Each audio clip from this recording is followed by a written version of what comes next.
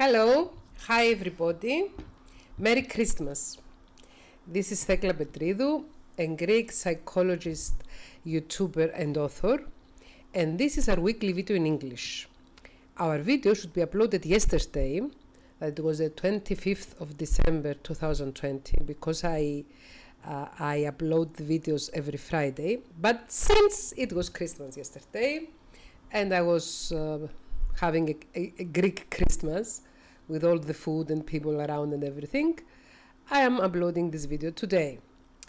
Today's subject is very interesting.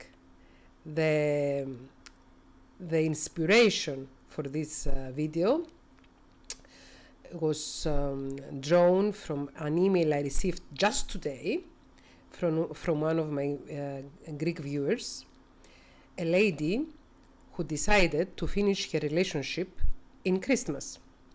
And she wrote this beautiful letter to her ex. And the title, the title is My Dear Ex, This Christmas. The same topic will be uh, uploaded tonight in Greek for, for, uh, for uh, the Greek people on the channel.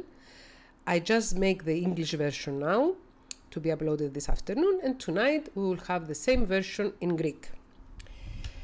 This lady uh, wrote to me, My dear Thekla, I'm again writing to you after two years. Two years ago, she wrote an email about um, lost self confidence and loneliness. This lady is around 55 years old. She lives in Greece. She's not married, she's single. She used to live with her uh, late mother. Her mother passed away recently. And two years ago, she, saw, she wrote an email to me talking about herself being lonely and having low self esteem. And we made a video at that time, two years ago. Dear Thekla, two years ago we are here again. You are always in my life because I watch your videos uh, very often and I still admire you, love you, and appreciate you too much. And you uh, continue to be my psychology teacher. Thank you, honey. I have news. I made a relationship with a man who is 17, year, 17 years younger than me. And from the first moment, he showed that he had a problem with our age difference. He's 70 years younger than you, 17 years younger than you. And because I'm already in menopause and he's just under 30, under 40, he expressed to me that he would love to have his own family. Our relationship began a year ago. We have a lot of commonalities on the ways of think on, the, on our ways of thinking, on the way on the way we enjoy life. We love we love books, the movies, um, going trips around, wine, good food.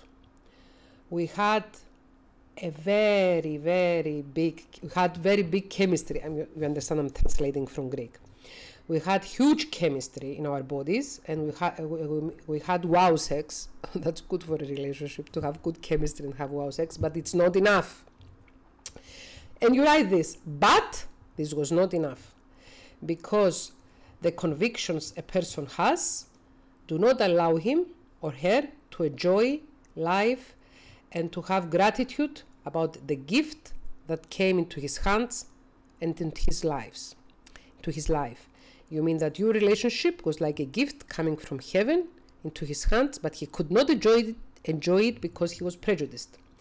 At the beginning, he was very excited with me because he never had a companionship like me.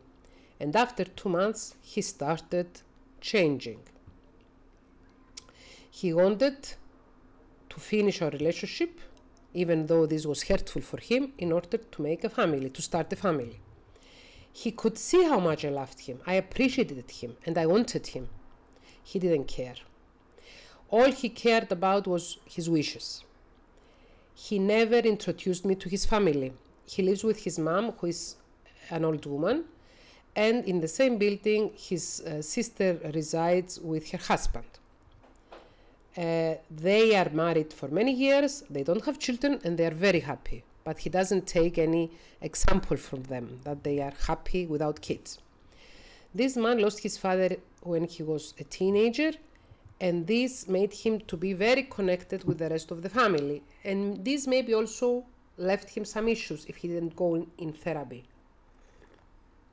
If you have um, mourning and mourning at such an, an delicate uh, age like teenage years and you go on therapy, then you can get over it. But if you have uh, unprocessed mourning and unprocessed trauma and you don't go to therapy, it could burden you for the rest of your life. We split up for two months and then we were again together. Sometimes we had sex, sometimes we were just friends when we were back together. I could not stand this, this ambiguity. But because my mother died, I wanted to have contact with him because I was very, um, very weak and I needed connection. This summer we were together again as a couple, but this lasted only for a few days because something happened again and we, we, we finished our relationship. I gave him space and time with no contact so as to think, to decide, while I was in a huge um, torment. So you tormented yourself so as to give him space and time to think. I'm going to say right now and know that it's not a good idea to torment ourselves so as not to express our feelings because somebody uh, who is not sure if he or she wants to be with us has ambiguity.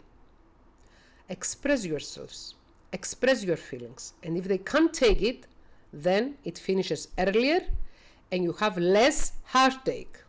Because if a story starts from the beginning and the one of the two has ambiguity and they are not sure and they have second thoughts and blah, blah, blah, blah, blah, by uh, showing patience and by giving them space and time, you waste your valuable energy. My opinion, of course. We were back together as friends uh, this um, since October, of, and he also uh, had coronavirus, and all this time that he was uh, uh he was um, he was a patient with coronavirus, we spent it talking on the phone for three, four, up to six hours a day. And as he always said, we were just friends. Until one day, I got bored of it. I got so angry that uh, I wasted my time and um, I had so many expectations, and he was in his own world. Today, 26th of December 2020, I wrote him this farewell email, knowing that our convictions, our stereotypes, our social stereotypes, are like um, a tomb which puts us in a box so that we cannot think and we cannot act freely. Thank you for reading this email. Now be a little patient to read my farewell to my ex. Okay. Today is the 26th of December 2020 and we haven't spoken since two weeks ago. I've never waited that you, I will never expected that you would choose not to wish me happy birthday on my birthday week ago and not to wish me Merry Christmas on, the Christ, on Christmas Day. You chose silence. Silence that was not just silence, it was a very loud indifference. You uh, showed your disrespect for me and you took a decision by yourself which hurt me a lot. You haven't thought that even now you could give me a little bit of joy, knowing that I'm all alone this special Christmas that we all go through quarantine Christmas, pandemic Christmas. For me, this is one reason. Uh, for me, this is one reason more because I'm alone with a dog in the house without my man, without my dog that passed away, without the choice to be with families and with my extended, with friends and my extended family. I'm really shocked by your attitude.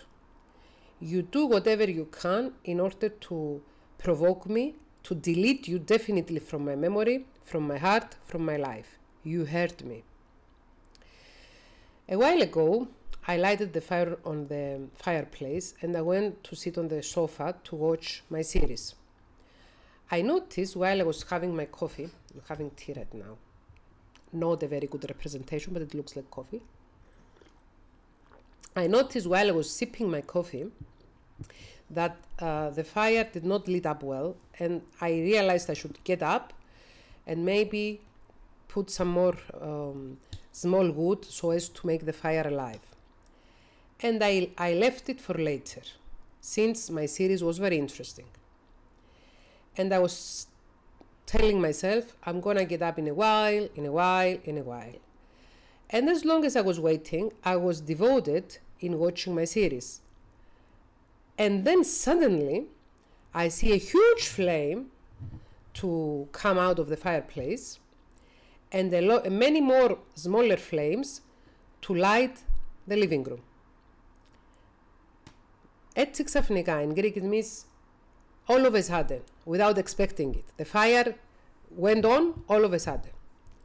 This was the symbol that inside me kept me all this time near you. I was thinking that one day you would realize what I came to do in your own life and to our lives. I gave you lots of opportunities to feel it, to think about it, and to process it in your brain. What was my purpose of me being in your life, and what was the spiritual purpose of our relationship? Unfortunately, no result and a lot of wasted time. In this time, I had hope, faith, huge love, and a lot of expectations. You had the most of all I have dreamed about the man I would spend my life with. But finally, you didn't want this so much as I do. And this I was very late to admit. You wouldn't dare to do something so extreme, so different from what you have as, um, as your uh, prototype until some time ago. And I was unlucky to this. If we lived in another country with another way of thinking, it would be the last thing to have in your mind that I'm older than you. You wouldn't care what your, your mother would say, what your sister would say. I know inside me that I could have made you a happy and full person. I had dreamed to adopt two children, to adopt children maybe, to adopt a couple of children so that we make our happiness full and to feel like people that they do a very important social work. It would also be a good thing for the society. And it would be like this, in my eyes, in my way of thinking, not in your eyes. I loved you deeply and sincerely, and I was able to try a common life without any suppression, um, with a lot of, um, of freedom in your own wills, but in my own wills. Today, I want to farewell you. I want to tell you goodbye, my dear ex. I want to tell you that I'm sorry, so sorry that you have been blind to see who would you have next to you. And I feel a lot of injustice for this happening in my life. And I was so upset and I felt so much rejection. But I also left, I also felt a lot of inspiration and hope. And I dreamed another life, happier, better than the one I had. You were not my chance. You were not the person to dream with me. You were not the person that would give up his convictions to follow a road of joy and full devotion and love, fully, devo- fully devoted love. I don't know why, why all this I should have um, discovered after a lot of tears, after the pain of rejection. I don't, after one why, that even now I cannot answer. Why? Why? I don't know why you came in my life, and I cannot say for certainty that I took a lesson and that I needed this lesson. I needed a person to tell me, don't worry, I'm here, nothing else. I just wanted you to love me and to have common dreams. I don't care about money. I don't care about social class. I don't care about external appearances, not even uh, age. My heart was thirsty for that flame that would give life to my own flame and we will uh, light up together the fireplace of our life. Every day I light the fireplace up because it keeps me company. I look at the flames and maybe this way my own flames are uh, keeping uh, are kept lit up because they never stop to be alive and to warm my heart and my body. I don't want this flame I have inside me that motivates me to be a better person, useful person, and happier person to go away. I don't know if all these words I wrote to you give um, a specific image of how I feel right now, but I had a need to write them down, to stay in time, to remember how it was my 2020 Christmas. I feel a lot of gratitude that I can feel, laugh, cry, dream, being able to survive, not just to survive, not just to, to live, but to uh, live with uh, realization of my life, even when I'm up, even when I'm down. To have people in my life that they really care about me and they love me, a wonderful dog that loves me, a wonderful house I stay in. I feel gratitude for all the little things I have achieved, for all for everything that I, I have in my life, for every for all the blessings and all the small moments that make my day, my thought, my life. I will never stop smiling, even in my biggest, darkest nights. Music will be like a soft blanket giving me warmth in every step, and my biggest company will be the movies and the books. I grew up this way and I will continue this way. Somewhere in this, uh, in this road of life, I will have my own spot that will take colors, it will smell beautifully, it will be creative, and it will breathe. Sorry, because the translation is from Greek to English uh, on the spot, so it's not such a good translation. I will believe in life, the gift that was given to me, and I will be grateful forever for everything that I achieved in my life or everything that life gave me. I will watch people carefully, nature, persons, the beings, and the uh, objects that they have chosen to be around me. I will take care of the people and objects around me, and I will go step to step to whatever my life uh, brings me. I am I am open to surprises and gifts. I'm even open to failures. I had I have overcome too many difficulties until now, and the moment that I say I say farewell to my difficulties brings a lot of uh, joy, a big smile in my face, and relief, and an internal pride because I made it. Either because some hand was there, either because I finally have a lot of strength inside me and, can, and I can cope. I am strong and very sensitive together. This is my combination. This is the best combination strong and sensitive. The best combination ever of a living human being who is alive. I am made of very strong materials that sometimes time and difficulties make them uh, weak but this is not forever. This is just for a long, uh, a small period, and I can I can um, uh, make myself better by working because I have very steady um, roots that my parents, my teachers, and the people who really love me gave me roots. I love life and I will fight for every drop of it.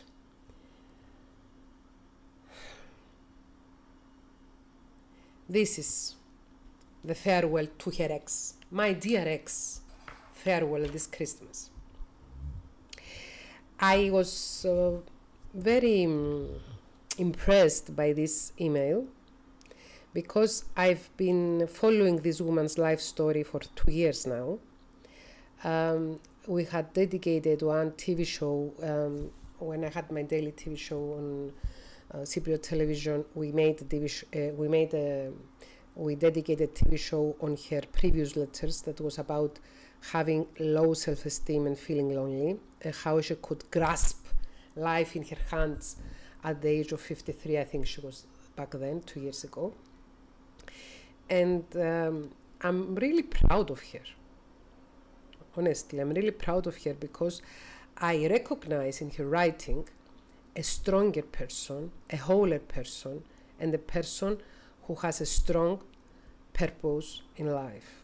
And she knows who she is and she doesn't allow anything and anybody to make her succumb and feel hopeless and lose um, her purpose in life. My dear ex, Christmas farewell. Why did this man came in your life? Why did you come into his life? I think at this point it's easier for us to um, observe and try to make hypothesis why you got into his life. Obviously, you got into his life to give him a choice. You wrote very well and very wisely. To give him a choice whether to follow his feelings and to follow the gift that life gave him, because real love is a gift. Real connection is a gift. Having similar ideas and enjoying life in the same way and having all this sexual and erotic chemistry is also a gift. You cannot find sexual chemistry easily. Hmm? There are too many too many parameters to compose sexual and erotic chemistry. So it's not so often to find I can understand what you mean by your writing, to find a person that you you click in this area. And uh, the truth is that once you had such a full uh, romantic relationship and your sexual chemistry was top, then uh, you can never forget how it is. And for you, my dear, I am sure that you will find similar and even bigger sexual, uh, sexual chemistry in the future. I'm not sure about him. I'm not sure. I hope that he will because even though, though he appeared to be so coward, and so self centered and so non communicative, he's still a person and we wish him the best. But wishing for somebody the best is not enough. He needs to work with himself and with his feelings and to appreciate life and appreciate moments and sacrifice. Sacrifice, not sacrifice big things. Open your mouth, man. Tell her, I love you, I like you, I feel a lot of sexual chemistry with you. I'm so happy being with you, but I want to have a family. Would you adopt with me? But maybe his heart was not big enough to adopt a child. I can totally, totally, totally imagine myself adopting a child and loving them to death. I was um, I was immature enough to have children in a very young age. I gave birth to my son who was only when I was only 22 years old and I gave birth to my daughter when I was um, a few months before becoming 25 years old. But, and I love my children dearly. I love them so much, so much. I love them more than I was loved growing up. And this is too much. because even though sometimes you, my usual viewers, you know my, my, uh, I have a small complaints with my from my childhood, like everybody does. But I am really grateful for having wonderful parents, and for me it was a purpose in life to love my children more, more, more. And loving them more doesn't mean to be um, to be um, controlling in their lives or to to to have any kind of uh, uh, emotional emotional uh, complications with them, but just love them and want them to be happy. And I said, as I said earlier, I was immature enough or impulsive enough, or that was the plan of my life to be a mother very early on in life.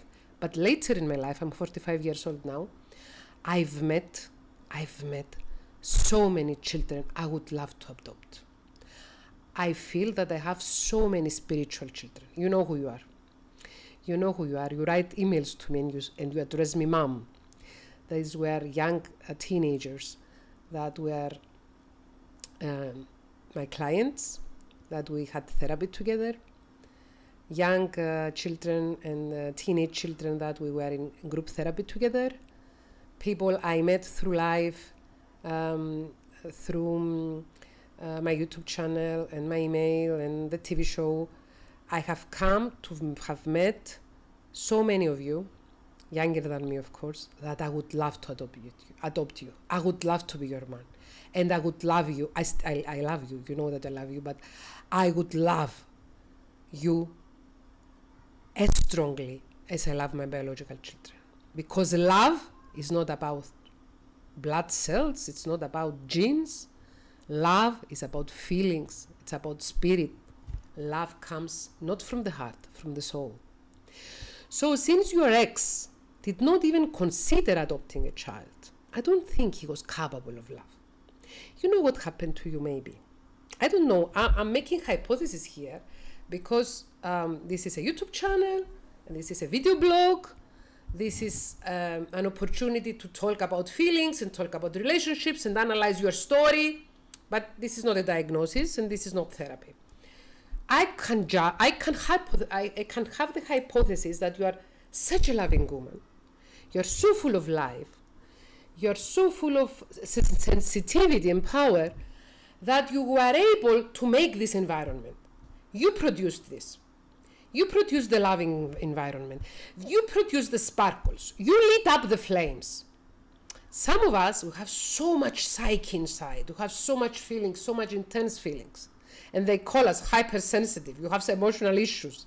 We made this uh, video blog in Greek last week about hypersensitivity, that is mistaken to be a vulnerability or uh, an ailment, whereas it is strength. Sensitive people can have a broad range of emotions and they can lit up a fireplace, they can lit up a relationship, they can give life to meaning to to people who are who are like dead and they were like miserable. They were like crying their destiny and feeling that, oh, I don't have much luck in my life. Oh, like your ex. I'm 38, I'm 39, I'm living with my old mother. I haven't had a family yet. I don't have, I'm not so successful financially, socially, whatever. Oh, I'm unlucky. And then one person walks into your life and she's full of life and she lit up your face and she gives you so much energy and you are so happy but you have this blockage in your brain because you are greek because you are um, a, a, very um, how should i put it? Old way of thinking. You are very conservative and you think that a woman who is 17 years older than you is a bad match for you. My dear how do you know how many years you will live? Both my grandmothers lived outlived their husbands 25 years. Both of them. Both of them. My father's mother and my mother's mother, they lived as a widows for over 20 years. I think my mother's mother outlived my grandfather for uh, 25 years, and my father's mother outlived my grandfather for 20 years. How do you know? How on earth do you know that you will die later than your your your uh, uh, partner? How on earth do you know that you are fertile? How on earth do you know that you could have children biologically? Maybe you can. And it's no big deal. Honestly, I'm telling you, I've had biological children. I love them to bits. I adore them. They mean everything to me. But I also love so many other people that I haven't given birth to. And I can love so much more, so many more. And all of us, we can love everybody. Love is free. Love is to give around. Love is to circulate. Love is to light up our lives. Love is not to be stingy of it. You are stingy of love, my dear. You are here, dear ex. You are stingy in love department. So, by not realizing it, maybe you took a very important decision in your life. Not to listen to your feelings, not to listen to your gut instinct and follow your fears. You chose your fears, live with your fears, enjoy them. As for you, my dear, that you wrote the email, and as for anybody else who feels that uh, you are uh, you are male and the farewell to your ex is uh, something that touches their soul because they had similar experiences you are so lucky you are so lucky You are so lucky that you are alive and you are really alive. You are so lucky you can feel. You are so lucky you can feel love. You can feel excitement. You can feel sorrow. You can feel joy. You can feel um, rejection. You can feel all the range of feelings. You are so, so lucky. You are so good. You are very good. You are excellent because you are alive and keep being alive. Your mother left this earth. You lost your mother. When we lose an important person in our lives, we get shattered. It's a, it's a loss. It's a huge loss. And this destabilizes us. Maybe this was the reason that you gave so many opportunities to this dear ex of yours. He's not dear to me, so I cannot feel. I cannot feel that he's dear to me. Maybe if I had sexual chemistry with him like you had, maybe I would feel some good feelings about him. But just listening to the story, I don't feel any any specific positive feelings. I don't feel any negative, but he's irrelevant to me. You are so relevant to me because I can see life inside you, life inside your eyes, life inside the eyes of your soul. I wish you to remain alive. And I'm promising to you that since you live your life like this, your life will, always be full. Either you are single, either you are well partnered, either you are with other people, or either you are alone. This beautiful email you wrote to me today, and you made my Boxing Day. You honestly made my Boxing Day. I just finished the live video on my channel this morning, and then your email came, and I was like, oh, a fire lit up in me, in my eyes, and in my brain, and in my soul, and I felt warmth inside because it was a person alive writing to me and talking to me, and I can see you are much better. You cannot see the lessons now, you will see them in the future. I'm sure that this experience has been very, very, very beneficial for you, and your email is the proof. You cannot feel it now. Now you feel sad. Now you feel the loss. We have this ducking quarantine Christmas. It's difficult for all of us. I said I was with people yesterday, but I was just with a few people I meet in the new place I live now. I was not with my extended family. I was not with my friends. It was also difficult. For everybody, it was difficult. For everybody who spent guaranteed Christmas, it was difficult. But you had so much inspiration and so many feelings inside. So enjoy your life, honey. Enjoy yourself. Allow yourself to be vulnerable. Allow yourself to be sensitive. Allow yourself to be strong. And in the future, when you will meet again somebody, do not, do not close your mouth. Do not stay silent in order to give space and time to somebody to think if they want you. If they think if they want you or not, they don't have enough feelings. We need fuel to go in life, and the fuel for a relationship to go on is feelings. Feelings and inner strength. Strong people cannot be matched with weak people. I will have no problem with weak people. They can be weak, they can find other weak people and do their matchings together, but strong people belong with strong people. This is a good match. This is a high match. You know, I wrote this very spoken of book, the Indian book Kama Sutra, from the original, the translation from the original uh, book to English, and it's a beautiful book. It's only one, one or two chapters that talks about sex. sex. Mostly it's the philosophy of ancient India about uh, love relationships and marriages, and it says that some people they can have high connections because they are highly compatible, and some people can have low connections because they are not so compatible. Strong people belong with strong people, weak people belong with weak people. If you are a strong person listening to this video, try not to connect with weak people. You do not belong with a weak person. If you are a weak person listening to this video, please do yourself a favor, start therapy, to make yourself stronger so that you can belong with strong people and enjoy life. Because in order to enjoy life, you need to be strong, you need to be courageous, you need to be alive, you need to be able to change. I wish you, everybody in 2021, to become stronger, wiser, and uh, being able to protect yourself more from cases like this of wasting our time with people that we do not belong with. Kiss you, everybody. Bye. See you on New Year's Day. Bye.